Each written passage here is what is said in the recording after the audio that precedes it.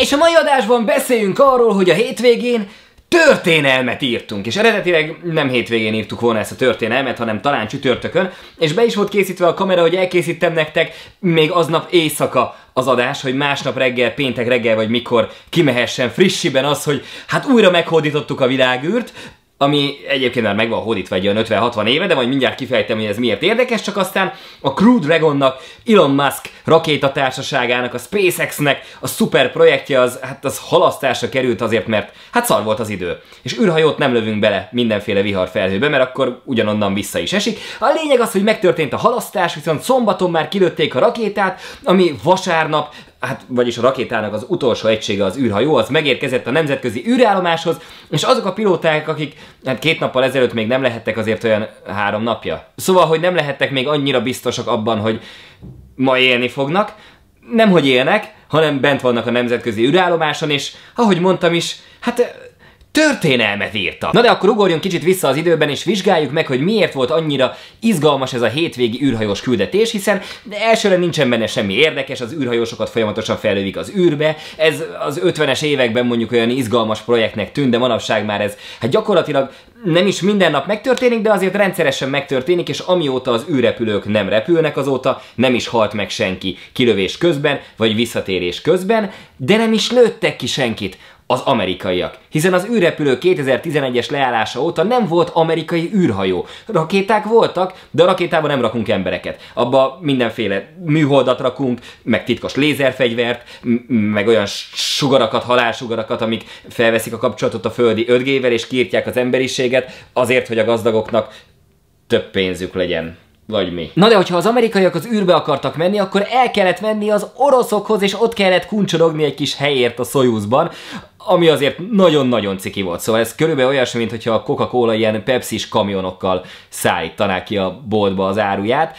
és hát hasonlóan rosszul érezték emiatt magukat az amerikaiak is, akiknek viszont nem volt űrhajójuk, miután a Space Shuttle programot leállították, mert az egyrészt nagyon-nagyon drága volt, másrészt nem volt benne perspektíva, hogy messzebb eljussunk, mint a földet körülölelő ilyen néhány száz kilométeres burok, harmadrészt meg hát igen-igen veszélyes konstrukció volt, emiatt aztán ugye több fel is robbant felszállás vagy leszállás közben, szóval az amerikaiak érezték, hogy valami más kéne, az űrsiklót leállították, de a más az nem készült el, úgyhogy maradtak az oroszok. Egészen most szombatig. Mert most hétvégén egy fickó, aki 20 éve még csak egy hülye gyerek volt. Bár tegyük hozzá milliárdos hülye gyerek, de lényeg az, hogy 20 évvel ezelőtt ő már valamit fel akart juttatni az űrbe, hogy egy ilyen Mars oázis projektbe kezdjen bele, és árajánlatot kért a különböző társaságoktól, hogy mennyiért tudna ő valamit fellövöldözni, és amikor megkapta az árajánlatot, akkor azt mondta, hogy basszus, ez drága, ennyit én nem akarok erre kifizetni, szóval, hogy Elon Musk 20 évvel ezelőtt elhatározta, hogy neki nem tetszenek ezek az árak, amik a rakétaiparban vannak, úgyhogy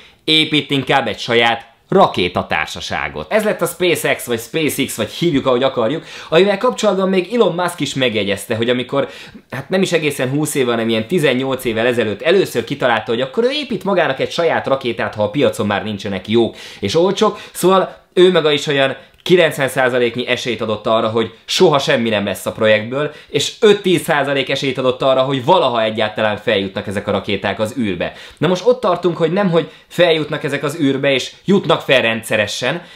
gyakorlatilag már ezek a rakéták szállnak fel a legtöbbször a Földről, és nem csak ott tartunk, hogy ezek a rakéták valami hihetetlenül menők, amikor visszaszállnak a földre, és soha senkinek nem sikerült még korábban olyan rakétát terveznie, ami nem elég a légkörben, vagy beleesik valahova az óceánba, hanem leszáll, és ennek ugye az az értelme, hogy olcsó legyen az űrutazás, hogy ne kelljen minden egyes alkalommal azzal számolni, hogy a teljes cucc megsebisül, és újat kell építeni minden egyes utazáson, hanem ezek a rakéták leszállnak, újra felhasználhatók, és ezáltal olcsóvá válik az űrutazás. Szóval nem csak ott tartunk, hogy vannak ezek a szupermenő rakéták, amik fogják magukat, leszállnak, és éppen ezért olcsó olcsók is, hanem ott, hogy ez a fickó készített egy űrhajót is a rakéta tetejére, és ez túl van egy sikeres tarton, és jelenleg az amerikaiak, hogyha nem akarnak iszonyatosan kínosan utazgatni az oroszokkal, nincs más választásuk, mint beülni Elon Musk űrhajójába, és felmenni vele. Mert erről már tudjuk, hogy működik. És az amerikaiaknak nincsen semmi más, ami működne. És tegyük hozzá, hogy ez nem csak egyszerűen így felszáll az égbe, és most már kezdünk eljutni odáig, hogy miért tartom annyira fontosnak ezt a hétvégi eseményt, és miért vannak ennek hihetetlen perspektívái. Szóval, hogy nem csak azért menő, mert repül, hanem mert sokkal menőbben néz ki, mint amit a NASA valaha tervezett. És ez egy ilyen jelentéktelen apróságnak tűnik, hogy kit érdekel, hogy a háttérben ilyen ágas-bogas kábelek lógnak, meg szikszalagoznak az űrhajósok mindent mindennel, meg ilyen elavult kapcsolók vannak, hogy miért számít az, hogy az űrhajó menő néz ki belülről, és menő érintő panel van az űrhajósok előtt, és menő az űrruhájuk, de hogy higgyük el, hogy a dolgok akkor válnak kézzelfogható valóságá, és akkor lépnek ki a kísérleti fázisból, és lesznek mindenki számára elérhető realitásá, ez mindenki szóval csillag, milliárdosok számára egyelőre, de hogy hosszú távon arra fele tartunk, hogy mindenki számára legyen valami haszna ennek az űrutazásnak, amikor elkezdünk odafigyelni a dizájnra, hiszen a számítógépek is, ameddig ilyen tranzisztorok voltak, amiket szakállas, hosszúhajú csávók mókoltak, akik aztán megcsinálták az Apple 1-est, addig az egy ilyen furcsa hobbi volt, aztán amikor egyszer csak az egész elkezdett dögösen kinézni, akkor az emberek elkezdték megvásárolni ezeket, nyilván eleinte csak a gazdagok, de ez vezetett el odáig, hogy ma már a számítástechnika az nem egy furcsa hobbi, hanem egy mindenki számára hasznos és elérhető jóság. És az, hogy eljutottunk odáig, hogy az űrutazás most már nem valamiféle ilyen barkács projekt, egyébként az mindegyik űrhajó rettenetes barkács projekt, de hogy valamiféle pofát kapott ez az egész, és elkezdtünk odafigyelni arra, hogy az emberek meg az űrhajósok mit gondolnak róla, az egy hatalmas lépés abba az irányba, hogy mi így utazgassunk az űrbe. Nem az egyetlen lépés, de egy nagyon fontos lépés. És tegyük hozzá, hogy technológiailag a NASA még mindig a csúcson van, hiszen azok a Saturn 5-ös rakéták, amiket ők kilőttek a 60-as, 70-es években, amikkel elutaztunk egészen a Holdig, és vissza. Igen, elutaztunk. Erről nem nyitunk vitát, hogy arról sem, hogy a Föld az lapos-e vagy gömbölyű. Nem, arról sem indítunk vitát, hogy a föld lapos-e vagy gömbölyű. Szóval, hogy azok a rakéták nagyobbak, erősebbek voltak ennél, de az a helyzet, hogy a Falcon 9-esek, amiket Elon Musk használ, azok nem csak borzasztó megbízhatókká váltak az elmúlt években, hanem nagyon-nagyon gazdaságossá is, és ezek képesek megágyazni egy új generációs rakéta monstrumnak, amit szintén Musk fejleszt, és aminek Big Fucking Rocket volt egész eddig a neve, most meg Space Starship, vagy mi a fene? Elkalandoztam, mindjárt rátérünk a kurva nagy rakétára, most maradjunk ennél a küldetésnél. Szóval a két űrhajós, aki felment az űrbe, ők már veteránok, nem először voltak fent a világűrben, sőt az egyikük ő rajta volt azon a Space Shuttle-on, ami az utolsó amerikai űrrepülés volt egészen mostanáig már, mint hogy olyan amerikai repülés, ami amerikai földről történt, amerikai technológiával, szóval olyan szimbolikusnak is nevezhető az ő visszatérése, és tegyük hozzá, hogy ők ilyen baromi nyugodtak voltak, szóval nem idegeskedtek különösebben a kilövés miatt, inkább Elon Musk volt az, akiben láthatóan egy ilyen zapszemet nem lehetett feldugni a seggébe, és folyamatosan idegállapotban volt a kilövés előtt,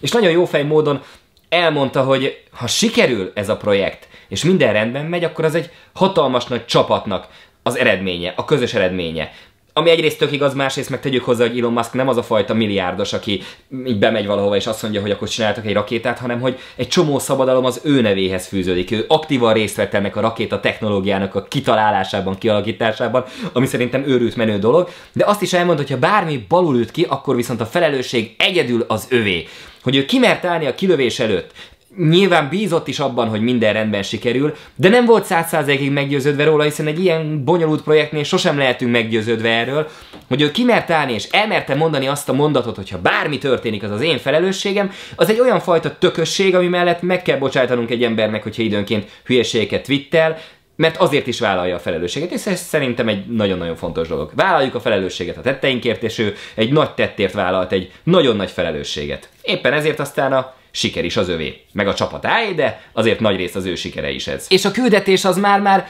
ilyen unalmasan hibátlanul ment. Szóval kilőtték az űrhajót, vagyis a rakétát, ami tolta maga előtt az űrhajót, és minden úgy történt, ahogy az előre ki volt találva. Az űrhajósok nyugisak voltak, és néhány perccel a kilövés után már földkörüli pályára is álltak. És onnantól kezdve ilyen 27 ezer km per órás sebességgel próbálták utolérni az ISS, várjátok, nem így ment. Nem tudom, hogy pontosan hogy ment, de a lényeg az, hogy az ISS nyomába mentek, és körülbelül 20 órával később sikerült is a csatlakozás a nemzetközi űrállomáshoz, ami azért egy ilyen nehéz projekt, szóval, hogy a videó alá belinkelem a NASA-nak azt a kis uh, ilyen online elérhető programját, amivel lehet gyakorolni, hogy mi betalálnánk-e az ISS-be egy ilyen űrhajóval. Nem találnánk be. Én szétzúztam szerencsétlen ISS-t. Biztos valakinek ez sikerül, hát legalábbis annak a két űrhajósnak, aki rajta volt ezen a küldetésen, nekik sikerült, és miután csatlakoztak és gubbasztottak ott néhány órát, átmásztak az ISS-be, és hát innentől kezdve már, már többen vannak az űrhajón, de ami az igazán érdekes az az, hogy hát ott vannak azok az űrhajósok is, akiket egy magáncég rakétája és űrhajója vitt fel. És ez az újabb mérföldkő. Nem csak arról van szó, hogy készült egy új űrhajó, hogy ez újra amerikai, hogy ez menőn néz ki, mert ez mind zárójelben van ahhoz képest, hogy ezt nem egy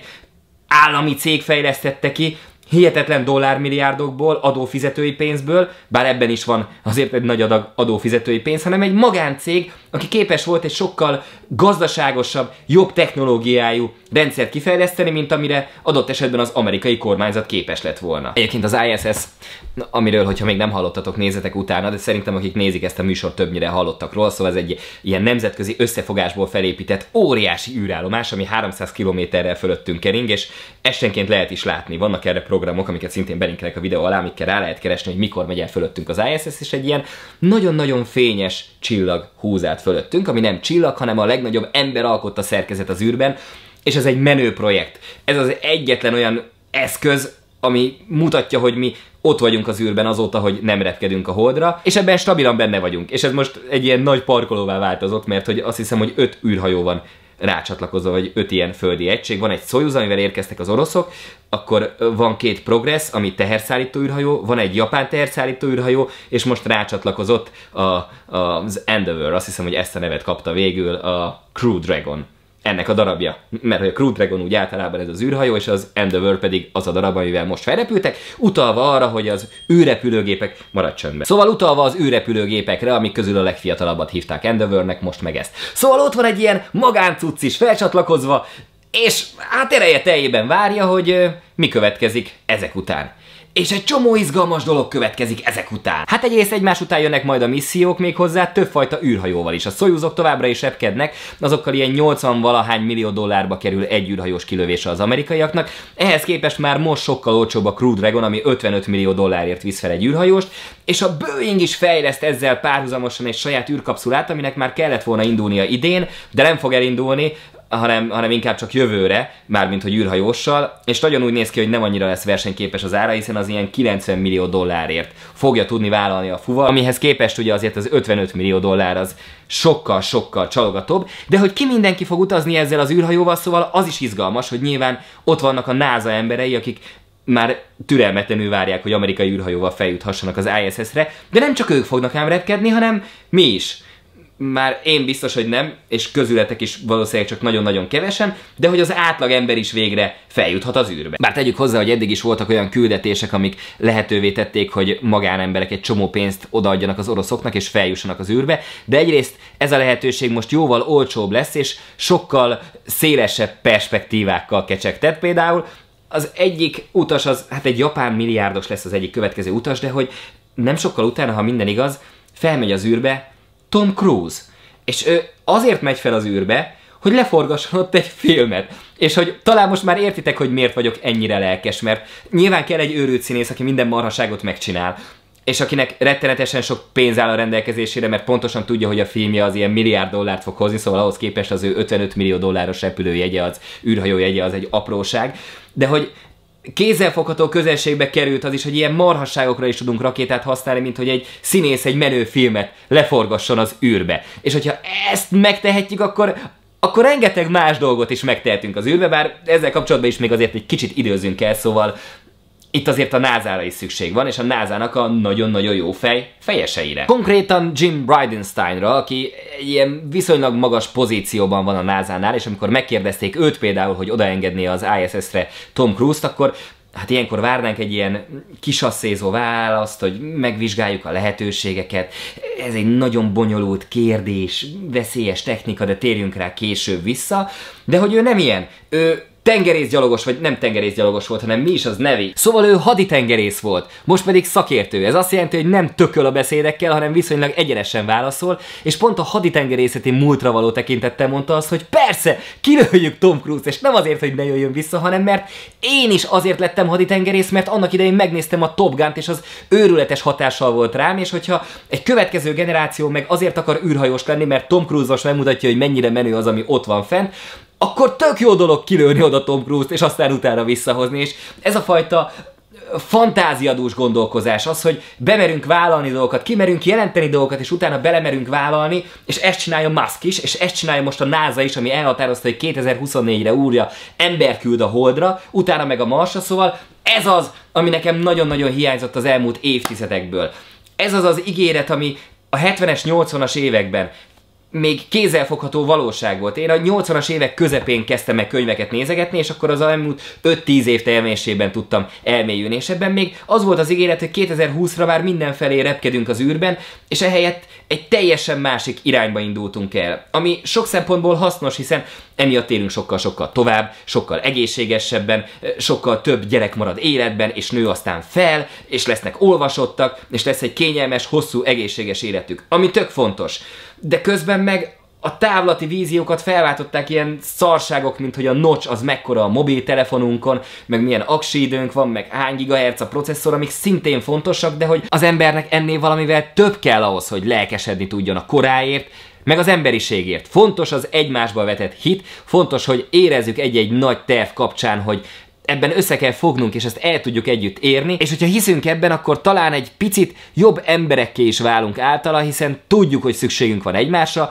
tudjuk, hogy milyen nagy például a világűr, mi milyen kicsik vagyunk, és éppen ezért nem felzabálni kell egymást, hanem, hanem összefogva együttesen tartani egy cél felé. És ez a cél most hirtelen újra láthatóvá vált. Igen, a Falcon mostani útja ugyanis nem csak lehetőséget biztosít további amerikai űrhajósok feldövöldözésére, hanem hirtelen hiszünk már Musknak, amikor azt mondja, hogy Starship-et, a Big Fucking Rocketet össze fogja rakni, még akkor is, hogyha az egyik tesztverzió az most hétvégén megsemmisült, és hogyha az összes korábbi tesztverzió is megsemmisült, de hát ez a tesztverzióknak a sorsa, hogy azoknak fel kell robbanniuk, viszont hogyha ezek elkezdenek működni,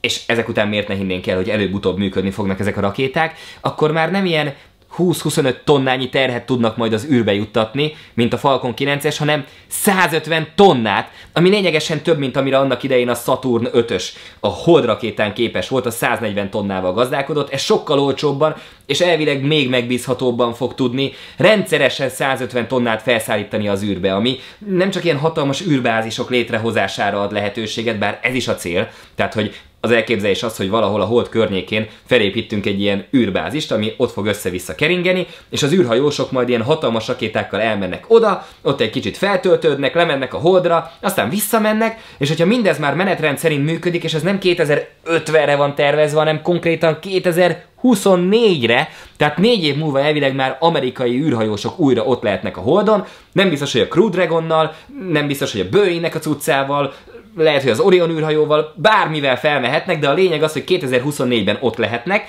és ebbe az irányba most tettünk egy nagy lépést, és onnan már csak hát egy ilyen nagyobb lépés a, a Mars. A Mars, amit már nagyon-nagyon régen meg akarunk hódítani, és a robotok, amiket gyártottunk, ott is vannak a bolygónak a felszínén, de most nagyon úgy néz ki, hogy a 2030-as években az emberek eljuthatnak oda, ami azért egy ilyen, hát nagyon-nagyon szivatos út lesz. Szóval eleve ilyen két és fél évente van csak arra lehetőség, kettő évente és két havonta, hogy ki lehessen oda lőni egy rakétát, mert hogy akkor van olyan pozícióban a Föld a Marshoz képes, hogyha ha előjük azt a rakétát, az nem belemegy a mély űrbe, hanem előbb-utóbb utoléri a Marsot, és hát nem beleütközik, hanem meg tudott állni. Mert azt is együk hozzá, hogy 15 évente vannak olyan együttállások, amikor nem csak egyszerűen megtaláljuk a Marsot, hanem viszonylag közel vannak egymáshoz. Hogy fejtsem ezt ki? Oké, okay, be akarom rugni a labdát a hálóba, és ott van velem szemben a kapu. Ha elfordulok, tök más irányba lövöm, akkor sosem megy be a hálóba a labda ez az alapeset. És akkor van két évente és két havonta az az eset, amikor tényleg a kapu felé nézek, viszont akkor sem mindegy, hogy milyen távolságra vagyok a kaputól, és hát 15 évente van olyan esély, amikor nem csak úgy jó irányba nézek, hanem viszonylag közel is vagyok, és ilyenkor a legkevésbé kockázatos és a leggyorsabb a küldetés, és 2035-ben pont lesz egy ilyen együttállás, legközelebb 2050-ben. Ez nem azt jelenti, hogy a köztes években nem lehet űrhajót kilőni, hanem hogy ilyenkor a legérdemesebb kilőni azokat az űrhajókat, amik így is ilyen 400 napig fognak utazni, és egy csomó kérdést meg kell oldani még ezzel kapcsolatban, hogy milyen sugárzás éri az űrhajósokat, és gyanús, hogy nagyon nagy sugárzás, amit nem is biztos, hogy most még ki lehet védeni, vagy nem is biztosan tudják, hogy hogy lehet erre megoldást találni, meg vannak ilyen elképzelések, hogy akiket kilövünk, azokat hát már ott kéne hagyni, és éljék le ott az életüket valamiféle kolóniát létrehozva, ami nyilvánvalóan, szóval csak olyanok jelentkeznének egy ilyen űrutazásra, akik Szóval aki nem akar visszatérni a Földre, hanem egy kis sátorban akarja leérni az életét a Marson, az nem biztos, hogy annyira életben akar maradni, és rá mondjuk nem bíznék egy ekkora projektet. Szóval van még egy csomó megoldandó probléma, hogy jutnak oda, hogy jönnek vissza, mit fognak ott csinálni, de hogy ezek már olyan kérdések, amikre a technológia lassan megadja a választ, és a keretet azt már mindenféleképpen biztosítja, például Elon Musk cége, ami 18 éve ezelőtt szinte még nem is létezett, most meg ez a legjobb technológiánk, amivel képesek vagyunk feljutni az űrbe. És az űrbe fel kell jutni, és ebben vannak óriási lehetőségek, és az a helyzet, hogy nem az a lehetőség, hogy a gazdagok majd oda mennek a Marsra, olvassam ilyet is, hogy a gazdagok azt tervezik, hogy, hogy felmennek a Marsra, és azt teszik lakhatóvá, mert hogy tönkre teszik a Földet, és itt már nem lehet lakni, és akkor a Marson fognak lakni, bár azt is adjuk hozzá, hogy sokkal egyszerűbb a globális felmelegedés összes problémáját máról hónapra megoldani, mint mondjuk 500 év alatt lakhatóvá tenni a Marsot, szóval, hogy nincs, nincs ilyen perspektíva, nincs ilyen gondolata úgy a világban benne, mert hogy az egyik az, az egy nehezen megoldható helyzet, de tök könnyen megoldható, és utána mármint, hogy megvan a technológia arra, hogy megoldjuk, és utána azt láthatjuk, hogy a vége egy nagyon-nagyon jól működő, szerethető bolygó. A másik oldalon meg van egy rettenetes körülményeket biztosító bolygó, ami egyelőre még nem is tudjuk, hogy milyen technológiával esetleg alkalmas lehet egy nap arra, hogy ne legyen rettenetesen lakható, hanem olyan középszar módon legyen lakható. A Föld az mindig is jobb lehetőséget nyújt, mint a Mars, de a Mars egy lehetőséget biztosít arra, hogy ne egy bolygóra összezárva éljünk, hanem hanem így elkezdjünk terjeszkedni. És ennek vannak ilyen science fiction vonatkozása is, hogy miért kell terjeszkedni. Hát például azért, mert hogyha egy aszteroida egyszer becsapódik a Földbe, akkor kihal az egész világ mindenség, vagy legalábbis az emberi élet, de hogyha a Marson is él még 150 millió ember, akkor legalább a fajunk fennmaradása az biztosítva lesz, de hát ennél azért tudunk nagyobb távlatokban is gondolkozni, szóval nem csak egy aszteroidára kell várnunk, vagy attól kell rettegnünk, hogy az majd idejön, és azért kell utaznunk, hanem mert az emberiséget ezek a nagy felfedezések hajtották előre eleinte még csak egy szigetre kellett átúsznunk, vagy átmennünk egy tutaljal, aztán kontinenseket kellett bejárnunk, aztán repülőgépeket kellett felfedeznünk, most a rakétákat. Ezek azok, amik előrehajtják az emberiséget, nem pedig az, hogy a nocs az... Szóval, hogy a nocs az mekkora. Ez leszarja mindenki. Ez, ez, ez mondjuk jó arra, hogy megvegyünk dolgokat, de arra nem, hogy másképp lássuk magunkat. Hogy higgyünk abban, hogy nagy dolgokra vagyunk képesek. És az űrutazás egy ilyen dolog, aminek a közvetlen haszna most még nem feltétlenül érthető, vagy átélhető, viszont hogyha ugrunk egy 300 évet előre egy lehetséges jövőben, be. Szóval, ha ugrunk egy két-háromszáz évet előre az időben, és elképzeljük egy pillanatra, hogy akkor már meghódítottunk egy csomó bolygórendszert, meg egy csomó csillagot, akkor érezzük azt is, hogy jó, ez azért egy nagy vállalás, de hogy el kell indulni valamilyen irányba, szóval, hogy akkor egyszer csak elkezdünk bízni abban, hogy igen, még nagy dolgokra vagyunk hivatottak